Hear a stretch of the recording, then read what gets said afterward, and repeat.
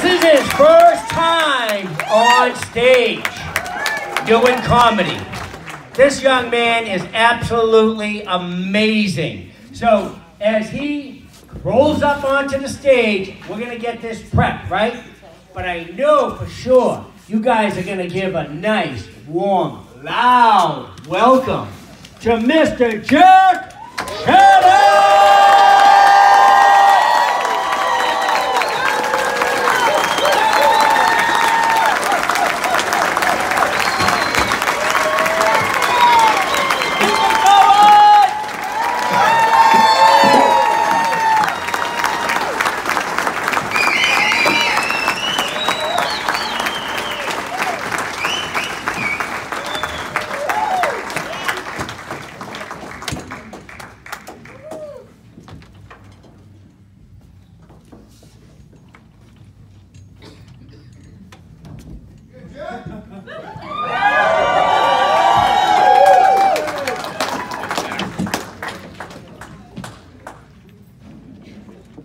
Jack, say something so we can do a test.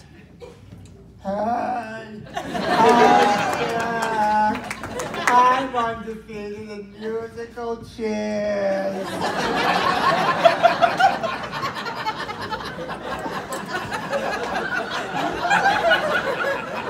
Just fucking with you. I, I wish I could see all your faces right now. All right, let, us get this elephant out of the room. You guys are probably wondering why I'm not here up here doing stand-up.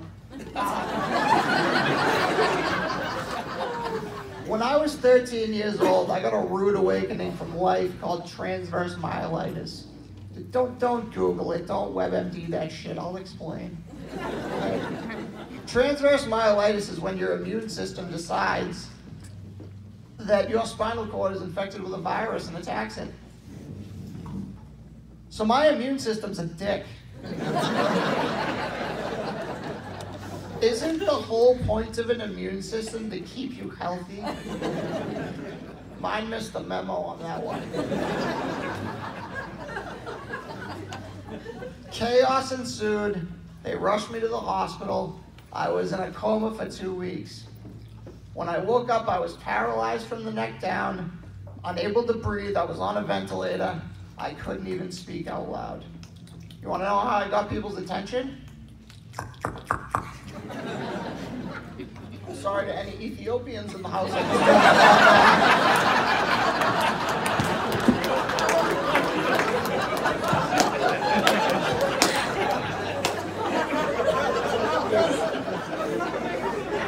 I, I have nothing against Ethiopians. I mean, after two weeks in a coma, I didn't eat. I probably could have passed for Ethiopia. Other than the whole white thing. I swear, between the weight loss and all the damn clicking I was doing, people didn't know whether to visit me in the hospital or pick up the phone and sponsor me for 80 cents a day.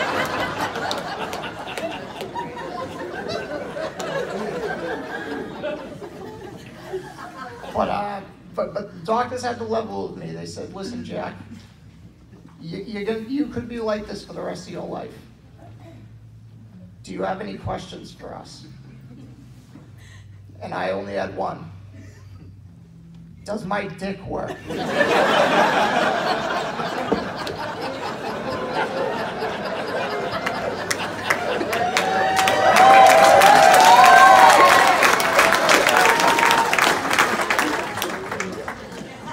I have priorities.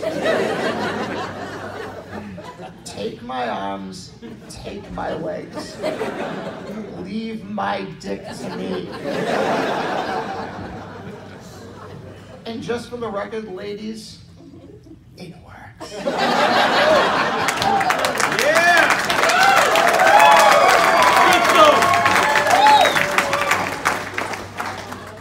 And the strongest muscle in my body is my tongue.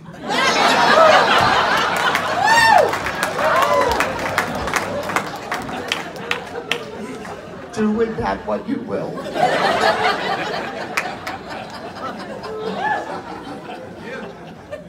you, you gotta, you gotta use what works. when life gives you lemons, make lemonade. When life gives you transverse myelitis, tell cripple jokes. what did Christopher Reeve wish for before blowing out his birthday candles? To be Christopher Walken.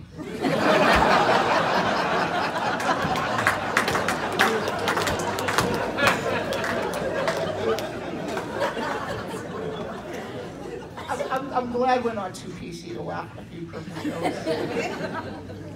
And I usually gauge my audiences on whether or not they laugh at some of this shit. I can already tell that you guys are my kind of people. Well, not my kind of people, because my kind of people are a little fucked up. but, but, uh, but I'm glad that you, that, that you can laugh with me on this shit. Um, I, I, I realize that I get a lot of uh, empathy and sympathy. I can see it in people. I can hear it just by the way they say things. Uh, I'm, I'm glad that there's so much concern for me. But I'll tell you, when I'm out in public and I hear some of the shit that you walkers say to me, I have a little bit of concern for you as well. You walkers with your fucking legs and your stands and all the fucking obstacles you like to go around on. Like my people don't have enough obstacles as it is. But uh, but, but I'll tell you, you guys come up with some great shit. And uh, and I know it can be intimidating to, to approach a guy with disabilities and try to say something nice. But if I may make a suggestion, have a game plan going in. Don't just walk up and start talking, because you're gonna just be desperate for any catch-all thing that we have in, in common. So the one thing everyone always tends to do is tell me about a cripple that they know, or, or at least they know of. Like, oh, my son went to school with a, a handy person in a wheelchair. His name is Danny Jones. Do you know him?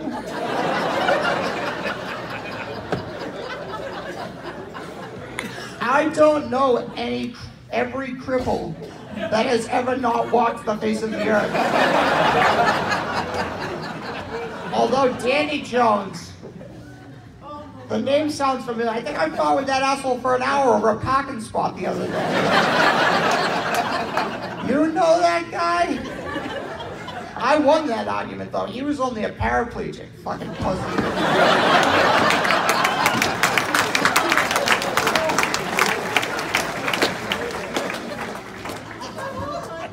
I get, I get that all the time though. Oh.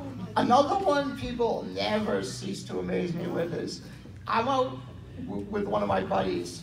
Somebody walks up to one of the, to my friend and says, can I talk to him?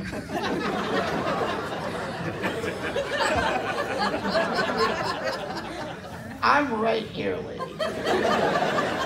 And that time, I have to act retarded. If, if, if, if only to match wits with this moron.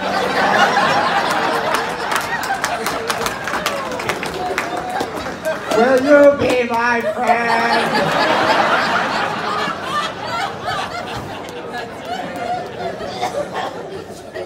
an, another thing, another thing I always get. It's happened to me three times since I've been here tonight. Somebody trying to shake my hand. now, most people get a pass because they realize what they're doing and that I can't move and just give me the fist bump or something. But once you're standing there for five, ten seconds, waiting for a handshake that ain't coming, I'm gonna fuck with you. What the hell are you doing?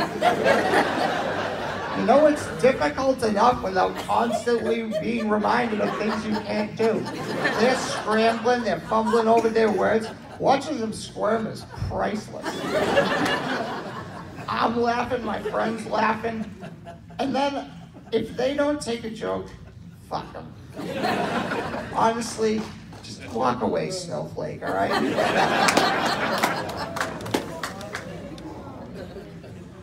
Then we come to the Bible thumpers, the religious right, who can't help loving God loves you. Oh, he does? He's got a funny way of showing it. I'm pretty sure OJ loved Nicole. We all know how that turned out.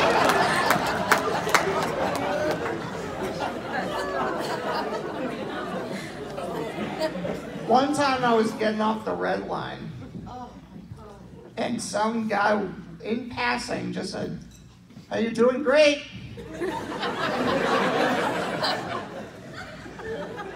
At what? Last time I checked, just being paralyzed is not a skill. I mean, it's not something I trained particularly hard for. There's no montages of me sitting down for hours while Eye of the Tiger plays in the background. Hi, my name's Jack. I can't move. What the fuck?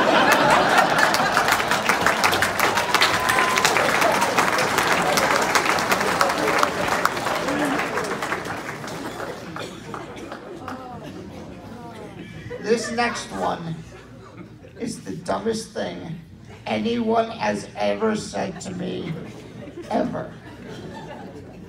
Rolling through the mall one day with, with my best friend and hetero life mate, shout out to Bo. Uh, and and uh, and some guy walks up to me, never seen this guy before in my life, and says, and I quote, "Hey man, nice shoes.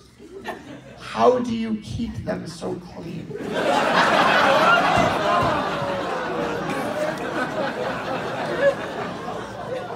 Take a second with that. I'll wait.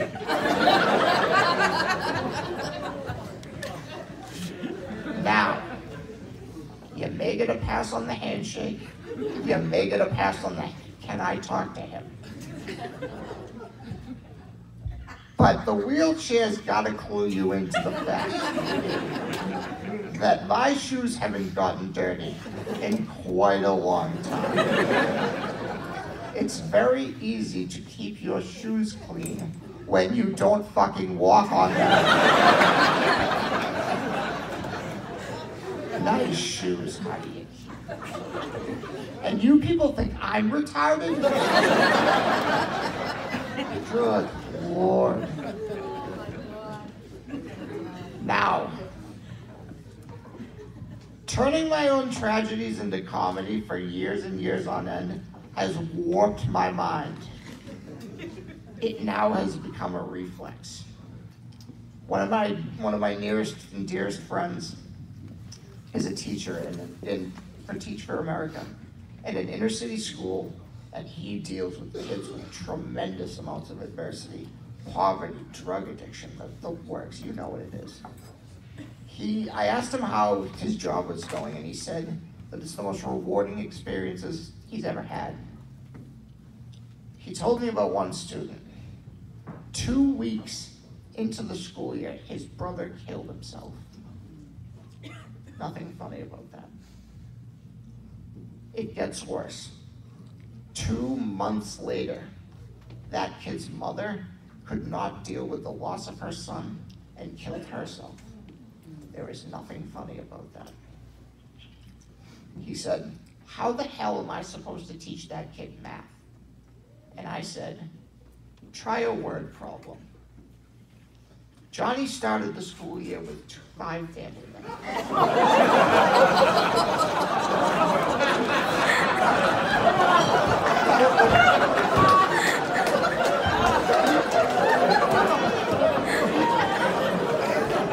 One day, Johnny's brother got sad and decided to take a bath with the toaster. Johnny's mom started drinking a lot. Then Johnny's dad decided to cope by banging the next door neighbor. Mom couldn't handle it anymore and decided to take the car for a spin in the garage. Now, if no one else in Johnny's family decides to off themselves, how many will be left to see Johnny open up his Christmas presents? It had a happy ending. Johnny got Christmas presents. And, and if we're really gonna be glass half full people, look on the bright side. Now Johnny doesn't have to share his Legos with his brother.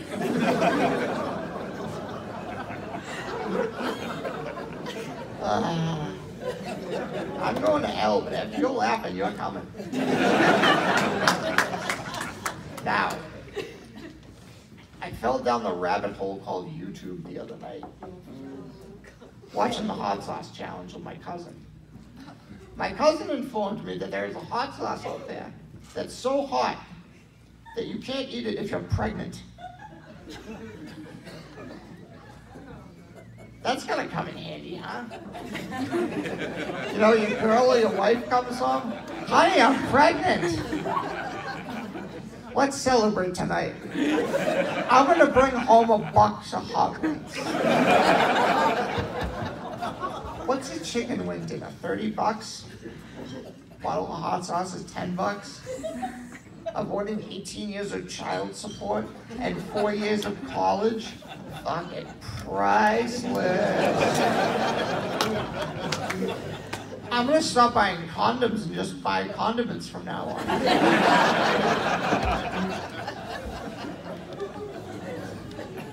now, I'm not gonna blame my entirety, the entirety of my fucked up head on the wheelchair. I've been like this long before. Uh, anyone who's known me for a long time can vouch for that. Uh, when I was 10, my parents decided to curb some of my uh, bad behavior by sending me to Catholic school. It should be painfully obvious to all of you that it didn't work. anyway, two years after they sent me to lovely St. Francis of Assisi, uh, my, one of my crazy cousins, who's also in attendance tonight, bought them a, uh, a gift basket, a joke basket, full of kinky sex items. This thing had flavored body lotion, whipped cream, Barry White scented candles, the works. The icing on the cake was a pair of handcuffs. These were not cheap plastic toy aisle grocery store handcuffs. These things were like Dog the Bounty Hunter police issue steel handcuffs. And in a momentary lapse of sanity, my mother said, Jack, play with these handcuffs. what she didn't see coming was that the next day I brought them to school and handcuffed myself to a classmate. Guess what I didn't bring to school? The keys. Long story short, I'm in the principal's office uh, about a half an hour later. And they said, Jack, what are you doing thinking this is appropriate for school? And I, and I didn't really have a good answer for that, so I kind of just sat there. And she said, you have detention for the next three days. Please unlock your classmate. And I said, I can't do that. They said, why not? And I said, I don't have the keys. And then they said, why don't you have the keys? And I said, these aren't my handcuffs. they belong to my mother.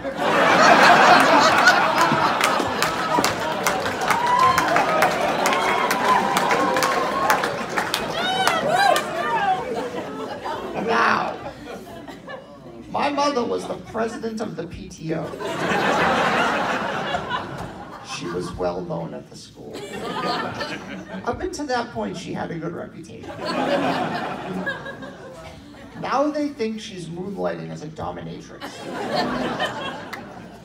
She still remembers the phone call. They were trying to choke back the laughter enough to be professional to be on the phone and say, Marie, Jack brought handcuffs to school. He says they're yours. Please come unlock them. She's on. She's driving home, reading me the riot act. I'm never gonna be able to show my face at that school again. What are you thinking? Don't you have a conscience? And I said, What's a conscience, mom? She said, It's that voice in the back of your head when you're doing something wrong. It says, hmm, maybe I shouldn't be doing this. And I thought about it for a second. I said, I don't think I was born with one of those. we never got those handcuffs back. I think the priest took them. There's probably an altar boy in the basement of St. Francis, cuffed to a pipe as we speak. But I think, but now that I think of it, Mom, if if you kept those handcuffs, maybe you and Dad would still be married. Guys, you've been awesome. I'm Jack Shadduck.